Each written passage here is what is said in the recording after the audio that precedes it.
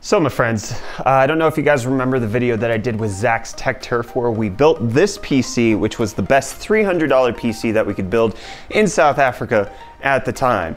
And I thoroughly got my butt handed to me because even though I had a pretty decent graphics card, the GTX 970 Hall of Fame, and he had an RX 480 and they're like roughly comparable in some games, uh, 480 wins in others, I completely lost because I only had four gigs of RAM. And it got me wondering, how bad was I actually bottlenecked and how much should people who have four gigs of RAM actually upgrade because the 970 is not really a high-end graphics card anymore. It's two generations old. You can get it for $100 used and we struggled to get playable frame rates in some of the most modern games because of it, even though we're running an i5-4590S for the processor.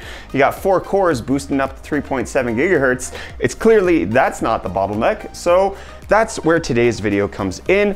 I picked up an extra four gigs of DDR3 and we're gonna put it in the system and see just how much we can, uh, we can get improvements off of this.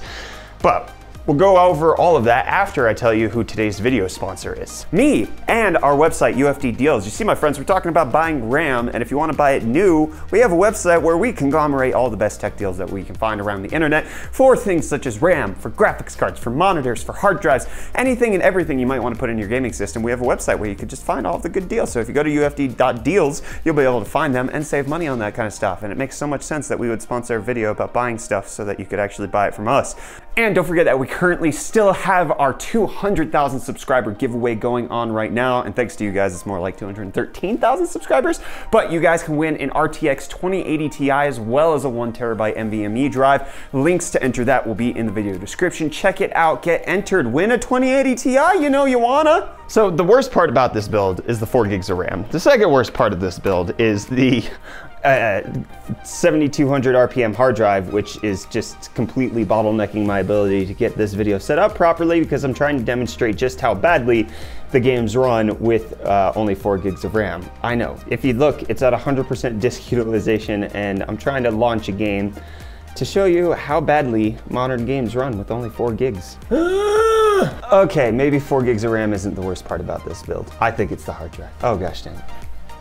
Never build a PC without an SSD, folks. Reece, how long does it take to die of old age? Three. Okay, I think I'm at two right now. Oh, this is painful. Oh, Uplay launcher. This was supposed to be a quick video. Just kidding. Well, part of it is also currently at four gigahertz. We're using over half and I haven't even launched the gosh dang game yet. So we're at 2.1 gigahertz or 2.1 gigabytes out of 3.9 and we're at 100% disk utilization. This is all this is all just bad news bears. None of this is any good. This system sucks. But obviously with a hard drive, once you get everything loaded, you'll actually be able to play the game and it's only in cutscenes and every time you load into a new game on a battle royale that you have to deal with the hard drive speed. But for the most part, you know, while you're actually playing, the, uh, the hard drive doesn't really affect you too much. It's just this part, the excruciating waiting. We're at three gigs of memory usage and the game hasn't launched yet. 3.2, 85%. That, that puppy's just climbing and the game hasn't even opened. There it goes. Yeah, you can see we're at 3.5 gigabytes of RAM usage and it's barely even loaded at this point. No, don't do this. Why do you do that?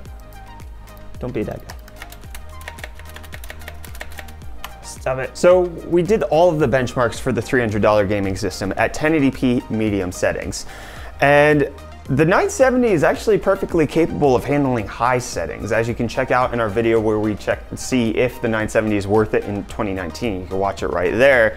It actually can get over 60 FPS in most games at 1080p, even the modern ones that have come out within the last two years. But as soon as this game loads, I'll show you just how badly it, it works with only four gigs of RAM. Reece, I'm gonna take a nap under the desk. Can you wake me up when it's time? Okay. I can't, I can't deal with this. I'm still not recovered from my sickness. I don't wanna. All right, I'm done. All right, all right. Uh, how do you, oh, it has a loading bar. It didn't have it when I went to bed. So that's progress.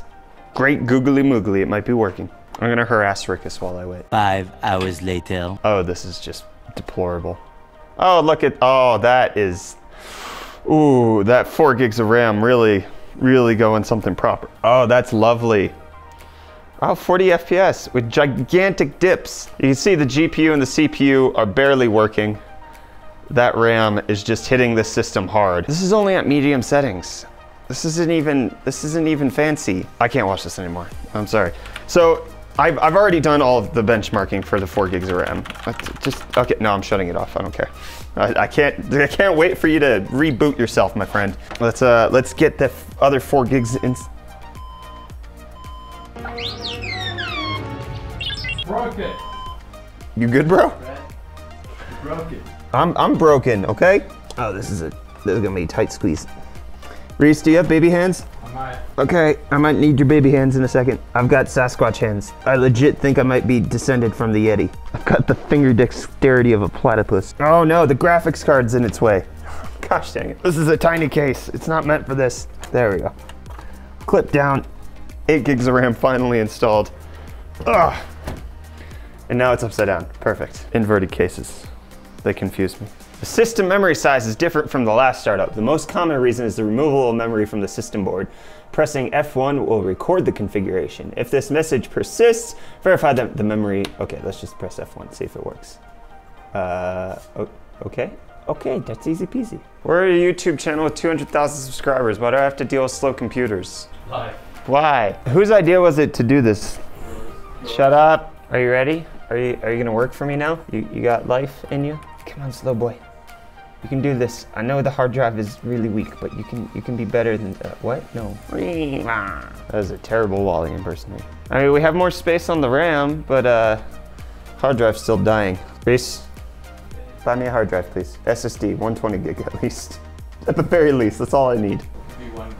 I'll take it. Where, no, where's my, gosh dang it, where's my freaking overlay? Five hours later. There we go. Now it's working.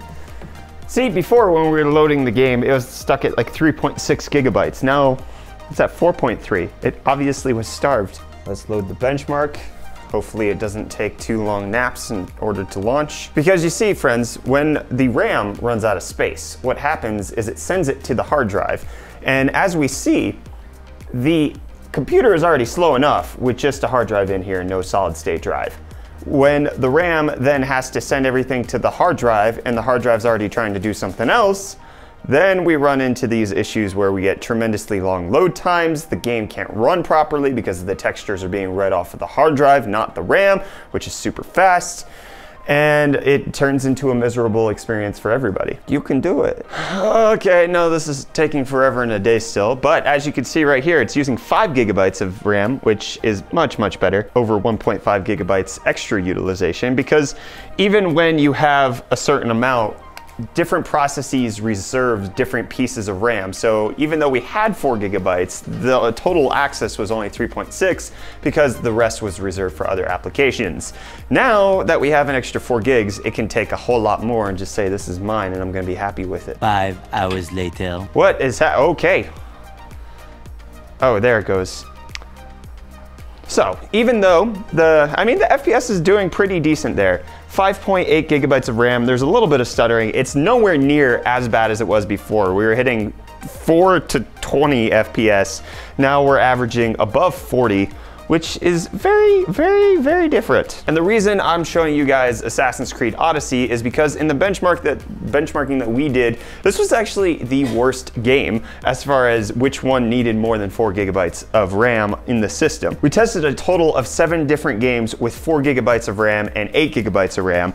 And yes, as I mentioned, Assassin's Creed Odyssey was by far the one that saw the most improvement. It went from averaging 23 FPS to averaging 50.7, which is a 120% increase for increasing the RAM by 100%. And of, of giant note there, the 1% and 0.1% lows are tremendously different. Instead of having 0.1 and 0.1 for the 1% and 0.1%, it's 30 and 26, which is much better. Then in Far Cry 5, what we saw was a 47% increase going from 51 FPS to 75. In Rainbow Six Siege, which is a game that's been out for a while, we actually saw the least amount of improvement coming in at 2.88%. The game ran at 170 plus FPS regardless. In Shadow of the Tomb Raider, we saw a 50% improvement going from 43 FPS to 64, but again, check out those 1% and 0.1% lows. With 4 gigs of RAM, the RAM has to send information to the hard drive, and so we're getting major stuttering in the video game while we're waiting for the hard drive to respond. Whereas when we have 8 gigs of RAM, none of that is occurring. Middle Earth Shadow of Mordor, we got an improvement of 7.4%. Again, an older game that's already running over 100 FPS with the current setup. Ghost Recon Wildlands, we saw a 31% improvement from 54 FPS to 71. And then in Resident Evil 2, we went from 75 FPS to 82, which was an 8% improvement. But again, the biggest improvement on all of this is not just the frame rate itself, the average frame rate, but rather the frame stability. So we're not sending information to a different place to get it back and having to wait so that we have drop frames here and there it actually all just takes place at the same time and we're not losing out on a whole lot. And I think the basic conclusion for this video is whether you're playing older games or you're playing newer games, whether you have a $50 graphics card or you have a $600 graphics card, 4 gigs of RAM in 2019 is a deplorable piece of nonsense that probably shouldn't exist. And considering that I picked up this extra 4 gigs for, I think it was 190 Rand here in South Africa, which converts to about $14, you guys can afford it. Afford the increase in RAM. Get an extra four gigs. It's not really like, don't, don't be four gig man.